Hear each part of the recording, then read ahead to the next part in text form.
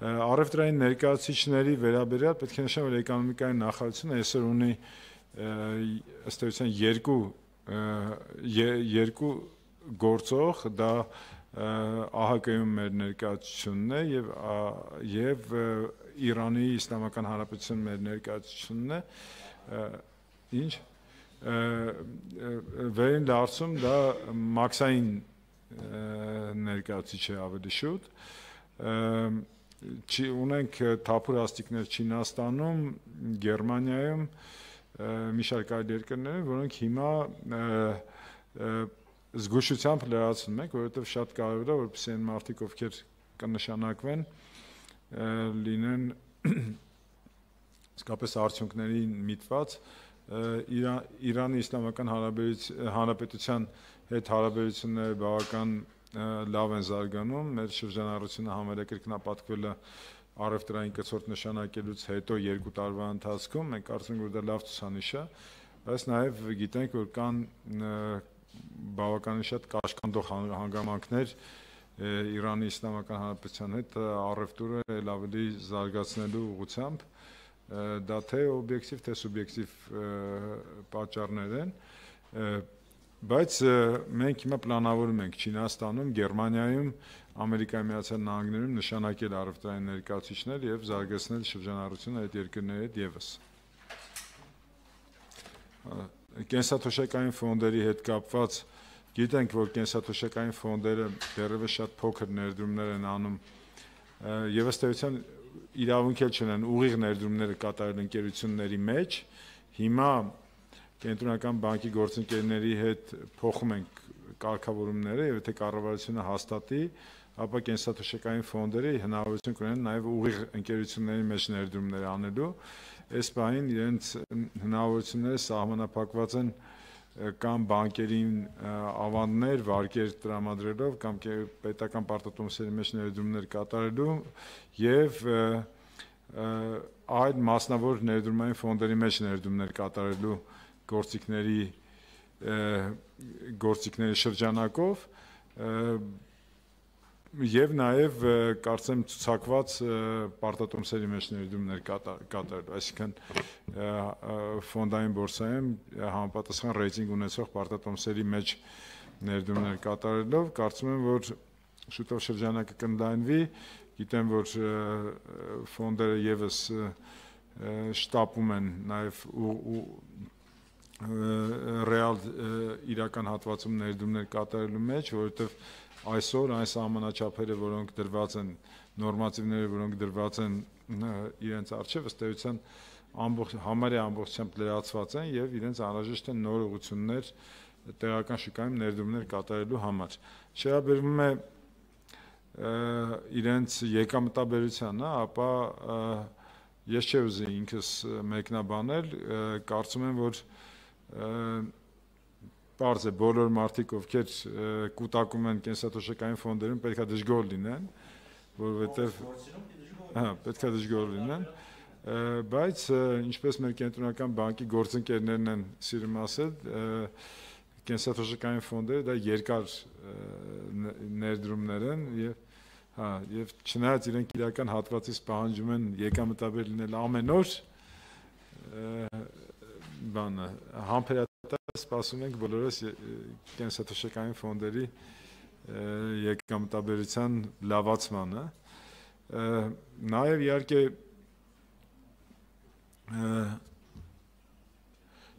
հիմնական միջոցների հետ կապված ես հենց հիմա չէի ուզենա որովհետև չունենք էլ կարծեմ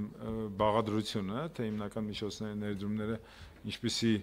ուղություններով է կատարվել, բայց նաև պետք է էլի վերադառնալով մեր ծրագրերին պետք է ասել, որ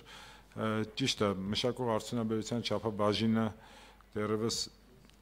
երևացող կերպով չի մեծացել հնայի մեջ, բայց պետք է նաև նշել, որ այն բարձր աճը, որը որը ունեցել է ամբողջ տնտեսությունը եւ մշակող արդյունաբերությունը կարողացել է գոնե թե պահպանել իր չափաբաժինը մշակող արդյունա ընդհանուր հնայի մեջ արդեն վատ ցուցանիշ չի սկզբի համար, չնայած մենք սևեռված ենք մեր 15%-ի պլանը մինչև 2026 թիվը կատարել։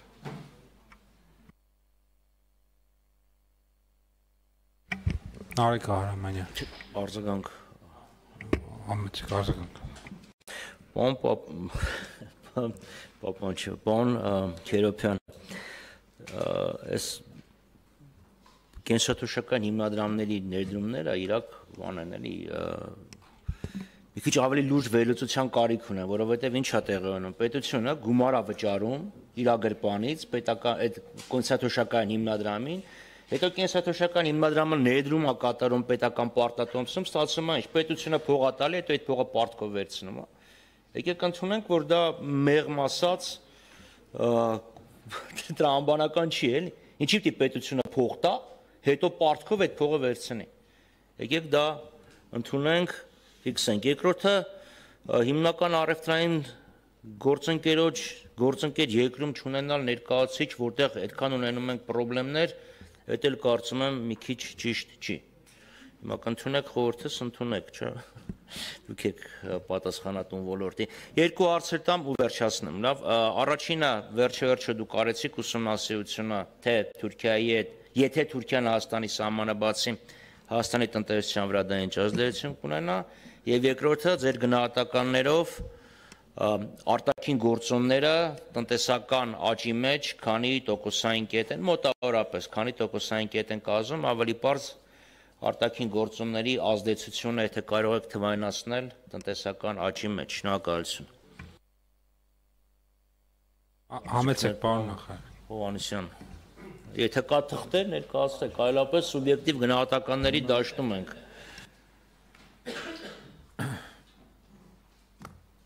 Կենսաթոշակային ֆոնդերի հետ կապված կա օրենքով սահմանված ներդրումներ կատարելու ուղղություններ եւ եւ աշխարհագրություն, հա ներդրումների 2/3-ը, եթե չեմ սխալվում, պետք է կատարվի հենց Հայաստան ներքին շուկայում եւ 1/3-ը թույլատրվում է մինչև 1/3-ը թույլատրվում է կատարել արտաքին շուկաներում եւ տեղական ներդրումների մեջ իհարկե կան ուղղություններ դա բանկային, ֆինանսական համակարգներ, ռեալ սեկտորը իր որոշակի սահմանափակումներով եւ պետական պարտատոմսերը։ Եվ հիմա կենսաթոշակային ֆոնդերը իրենք են որոշում, թե այս շրջանակի մեջ որտեղ ներդրումներ կատարեն եւ այդտեղ պետությունը ֆինանսների նախարարությունը չի կարող մերժել կենսաթոշակային ֆոնդերից հայտերը միայն այն պատճառով, որ այդքան էլ լավ միտք չի, ինչպես դուք եք նշում, եւ Ահա, դե իրականում խնդիրը ոչ թե կենսաթոշակային ֆոնդերի մեջ է, այլ մեր տնտեսության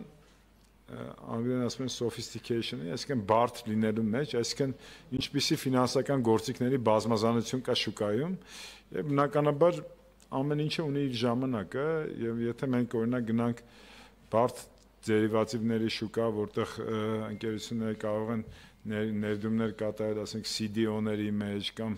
հիպոթեկային սեկյուրիտիզացված պարտատոմսերի մեջ եւ այլն, որը թույլ կտա, որ այդ միջոցները նորից հետ գնան ֆինանսական շուկա եւ ֆինանսական շուկայի միջոցով նաեւ ռեալ սեկտոր, ապա դրա ժամանակը